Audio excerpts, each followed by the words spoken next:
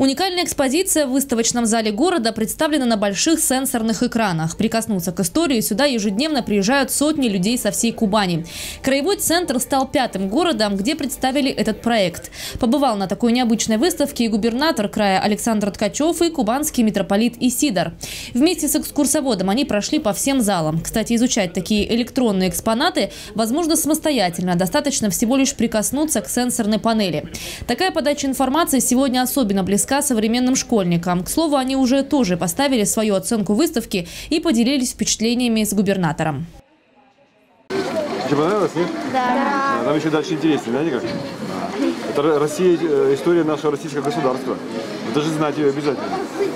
Мы уже многое знаем о истории, конечно. Мы хоть и маленькие, но уже много знаем. мне кажется, очень важно, что вот, интерес к истории, да, проснулся, да, не только у взрослых, но и у детей. Это Конечно. очень вам. Александр А, Николаевич, а что эти проекты, они, конечно, они, делаете, конечно, да. эти проекты помогают именно лучше понять Особенно с Россию, современными Кубань, технологиями, конечно, очень удобно.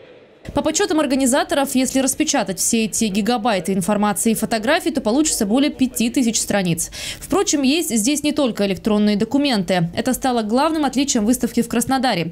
Один из залов посвящен истории Кубани. Жалованная грамота Екатерины, дарующая казакам земли, полковые знамена. Эти реликвии сюда привезли из музея имени Фелицина. На мой взгляд, это очень важно. Очень важно, особенно для молодых людей, детей. Они должны знать э, всю нашу историю Российской империи. Здесь она приобретается очень четко и с э, историей, естественно, о нашей Кубани.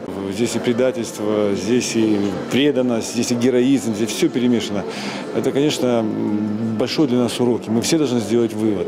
И тем более все это особенно важно и актуально, когда именно в эти дни э, нашу страну пытаются принизить. Судя по истории, нас всегда, в общем, недолюбливали. И никто Россию, Российскую империю не хотел видеть мощной, могучей, независимой.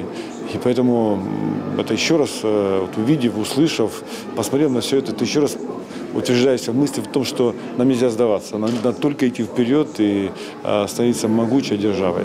Это очень нужно для души, для э, познания истории своей. И я призываю всех, кто может, пусть придут сюда обязательно, посетят. Это очень важное мероприятие для каждого человека, для каждого жителя Краснодара и Краснодарского края. Посетить выставку в кубанской столице можно до конца этой недели. С успехом прошедшая в Москве, Санкт-Петербурге и Тюмени, она завершает свое путешествие. Краснодар стал последним городом этого грандиозного турне. Теперь выставка получит постоянную прописку в Крыму.